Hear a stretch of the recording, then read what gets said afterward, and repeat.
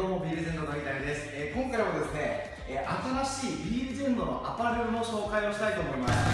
今日もこれね早速来てるんですけれども、えー、まあ見ての通りノースリーブのシャツです。でこのシャツのまあ特徴をいくつかいくつか伝えていくとですねまずちょっと分かりますかね？こういうストレッチ素材で少しこう収縮伸縮してくれます。こう体にフィットするような感じですね。でちなみに僕が今着てるので、えー、M サイズミディアムサイズです。で僕が身長が169センチで今体重が72キロぐらいなので大体これぐらいの体型でこんな感じです。こんな感じです。はい。で、まあ、このシャツの特徴は今言った、まあ、ストレッチするっていうこととあとまあこういうね B レジェンドのロゴが入ってたりここにリアルスタイルのロゴが入っていたりあとここにも B レジェンドのロゴが入ってます。あとこういうねあのー、なんていうのかな継ぎ目というかこういうところはこういうねあのラインデザインが入ってます。はい。で少しこうねこう体にフィットするような感じで、えー、ウエスト部分が少しこうくびれた感じになってるのでこう体のラインが見えるんじゃないかなと思います。でやっぱりトレーニングしてる人ってやっぱりどうしてもこうパンプの具合とかね体の張り具合とかっていうのを確認することが多いと思うので少しこう、えー、タイトな感じでこう収縮性のあるものにしてます。でただ、まあ、一般的にあるこう着圧式のものこう締め付けるようなインナーに着るような締め付ける着圧式のものだったら結構締め付ける度合いが強いのであの体が結構しんどくなってきたりあるいはこう動かす時にこのね何ていうのかなこういうところがなんか窮屈になってきたりすると思うんですよ。なので、え、これはそのストレッチを少し緩めになってます。あんまりこうビチッとこうあ締め付けるような感じはないですで、まあ、他の特徴といえば少し分かるかどうか微妙なんですがこのノースリーブのこのカットがですねノースリーブのカットが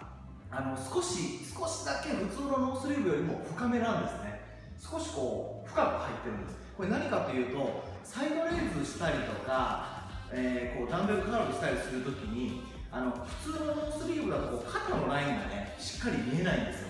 あとこうローイングであったりラットプルするときとか、まあ、ワンハンドローなんかもそうなんですけど結構リアヘッドとかこう大円筋あたりを狙うトレーニングをするときに結構この辺がねもう少し見えたい見えてほしいんだけどなだけどちょうど腕しかあの腕がギリギリノースリーブになってるだけで見えないってことが結構あるので少しだけここのカットを深くしてあります。でもう一つはこの首のカットもね見てもらうと普通のクルーネックよりゆとりがあると思うんですよ。これもああいうあの圧着タイプの着圧タイプのものだったら結構首もこうグッと詰まることが多いんですがあのこれ少しゆとり持たせることで首にもゆとりがあります。だからトレーニングしていても首の詰まった感もないです。じゃあこれもう逆にねそのこともタンクトップでいいんじゃないかなっていうふうに思われるかもしれないんですがタンク僕ねタンクトップ嫌いなんですよ。でなぜかというとタンクトップだとやってるとこうこう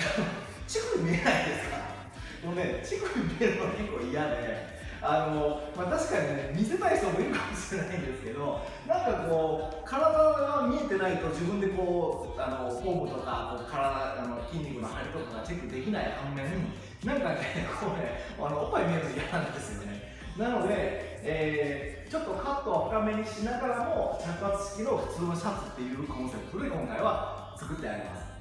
なので、えー、ぜひですね、まあ、皆さんね、こうトレーニングされる方はですね、えー、中には今みたいな方いるんじゃないかなと思うんですよ。あの例えば、えー、T シャツは嫌でノースリにしたいんだけれども、タンクトップまでは行きたくないみたいなね。なんかそういう人にとっては、まあ、こうちょうどいいんじゃないかなと思います。まあ、なんか僕は本当にもうまさにそこなんで、えー、こういう感じのものを作ったんですが、ぜひよかったら、えー、皆さんもご検討ださい。で、色はですね、あ、そうか、今これ私着てるの黒なんですけれども、えー、黒と赤とグレーがあります。3色あります。はい、えー、こんな感じでね、えーと、赤はこんな感じです。はい、もういい年したおっさんが赤着てるといいかなと思うんですが、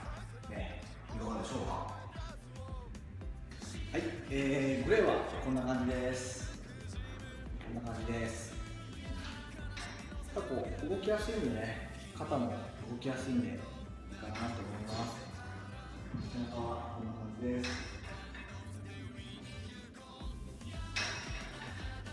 こんな感じです。えー、まあね詳細あの私概要欄の方に入れておきますので、えー、ご覧いただければと思います。はい。では皆さんぜひ一緒にこのビールジェンドノースリーブを着てですねトレーニングに頑張りましょう。それでは皆さんまたお会いしましょう。さよなら。